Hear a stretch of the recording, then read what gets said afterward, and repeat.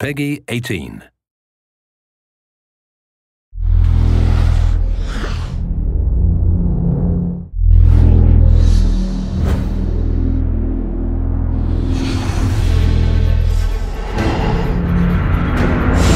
Hi, I'm Tim Brown, lead game designer for the new Assassin's Creed 4 Black Flag multiplayer mode.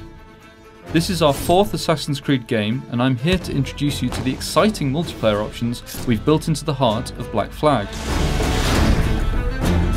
There are two categories of adversarial multiplayer modes that you can play on a variety of maps. Variable weather options enhance the competition. There are free-for-all modes where it's every player for himself and team-based modes where groups of players are pitted against each other. To demonstrate some of the unique features in Assassin's Creed 4 multiplayer, today we're going to focus on the team-based Artifact Assault mode. Similar to other Capture the Flag games, the objective of Artifact Assault is to enter the enemy territory and steal an artifact from their base, while keeping enemies away from raiding your territory and stealing your artifact. The team that captures the most artifacts by the end of the time limit wins. In every Assassin's Creed 4 multiplayer mode, competitors choose perks to give themselves a gameplay advantage. Perks are very valuable and nearly impossible for enemies to detect. They don't require a cooldown period after use, and are yours for the entire duration of the game. For example, the Blender perk creates a civilian lookalike to confuse your enemies and allow you to hide more easily. And as you can see, the Unstoppable perk provides an extreme advantage when chasing your target, opening all closed chase breakers and allowing you to charge through the crowd. Your chosen abilities, like your perks, add special skills that you can call on when needed, but unlike perks, abilities need a cooldown before they can be used again. They also trigger a visual effect so they're more noticeable to opponents. Disguise, for example, is an ability that changes your appearance to confuse an enemy long enough for you to escape.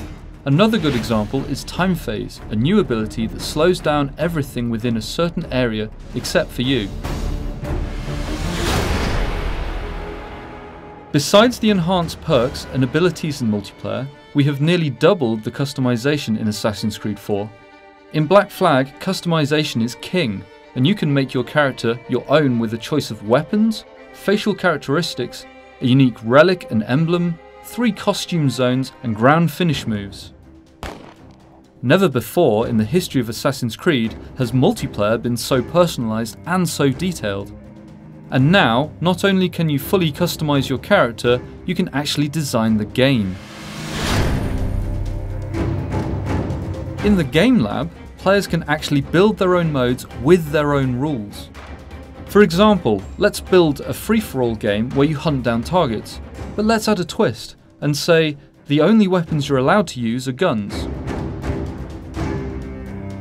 And let's simplify the scoring system too, so you only get points for the targets you kill. And there, we just built our own mode to our own custom specifications using only guns and scoring only kills.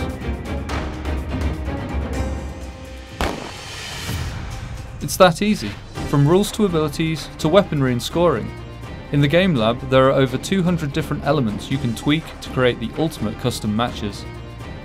So you can step into the developer's seat and create a mode that you want to play. Want to use only pistols? Build it. Only want to count stealth kills? Do it. Limit abilities, shorten timing, redefine scoring, done.